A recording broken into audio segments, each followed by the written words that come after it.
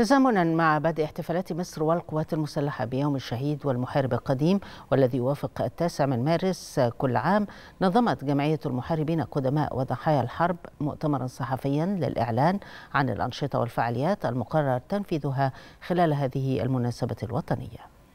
تزامنا مع بدء احتفالات مصر والقوات المسلحة بيوم الشهيد والمحارب القديم والذي يوافق التاسع من مارس كل عام. نظمت جمعية المحاربين القدماء وضحايا الحرب مؤتمرا صحفيا للإعلان عن الأنشطة والفعاليات المقرر تنفيذها خلال هذه المناسبة الوطنية. تخليدا لذكرى استشهاد الفريق أول عبد المنعم رياض رئيس أركان حرب القوات المسلحة الأسبق يوم التاسع من مارس عام 1969 وأكد اللواء أركان حرب مدحت عبد العزيز فاوي مدير جمعية المحاربين القدماء وضحايا الحرب خلال وقائع المؤتمر.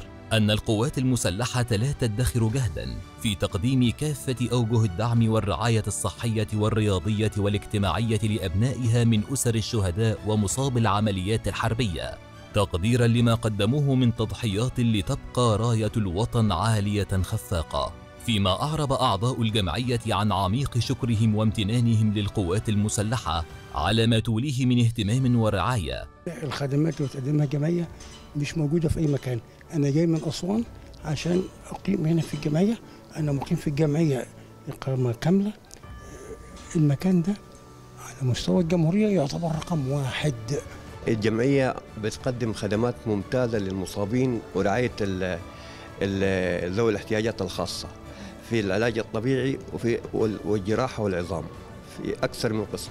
مؤكدين أن الاحتفال بهذه المناسبة يجسد أسمى معاني العطاء والروح الوطنية المخلصة لأبناء مصر المدافعين عن أمنها وسلامتها عبر تاريخها الطويل.